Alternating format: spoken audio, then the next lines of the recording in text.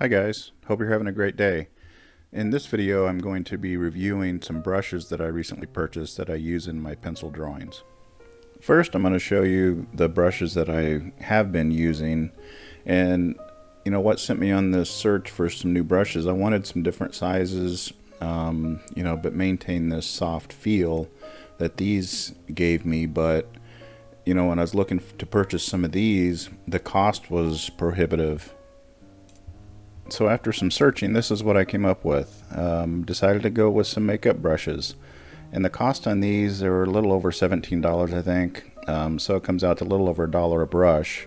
Whereas the other brushes that I'm using, you know, the, the true painting brushes, uh, those can range anywhere from four or five dollars up to you know ten or fifteen dollars depends on the quality that you get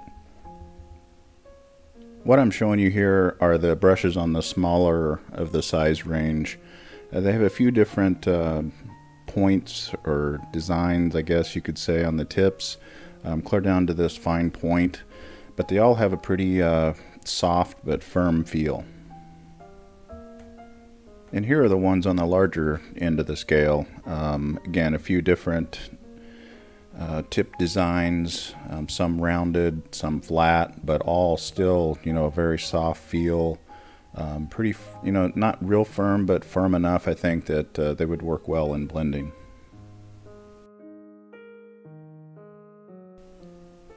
So now I'll show you how they actually blend. So first I'm laying down some graphite with a 6B pencil using a nice soft pencil to get a lot of graphite down just to see how they blend. So I'm going to use one of the smaller ones and just uh, rub it in the graphite and then blend it out. As you can see here, it produces a nice smooth texture.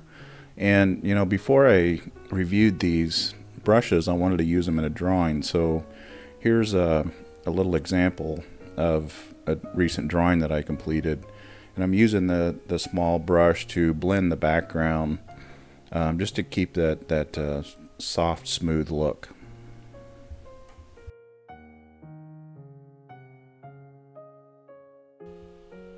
Like I said, this is a drawing that I recently completed. I did film the, the entire process, so I'll be posting a video of that uh, on my channel soon, so be on the lookout for that.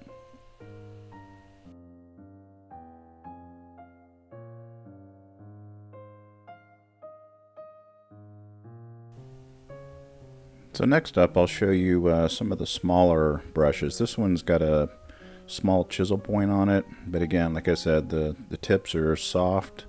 They're just firm enough to where you can still, you know, do some light blending or almost even some light drawing with the brush.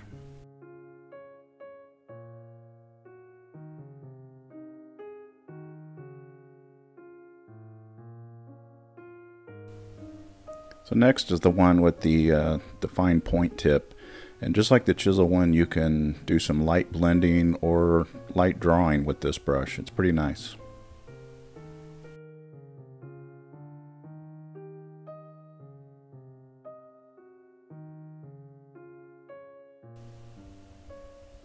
So here's an example of using the chisel brush back in the uh, seashell drawing that I recently completed.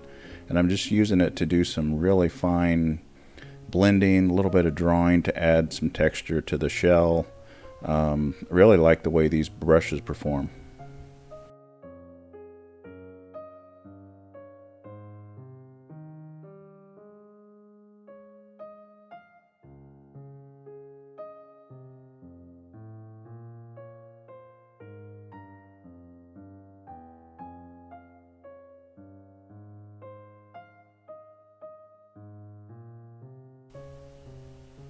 And here's the uh, small fine point tip in action.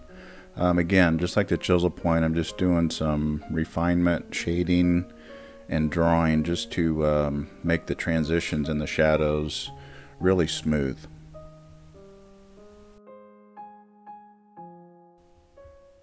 Like I said, I wanted to try these out in, in one of my own drawings before I gave you guys a review um, just so I would have a you know pretty good understanding on how they performed, and I'm I'm really happy with them so far. This drawing took about four hours to complete, so they've got a lot of good use.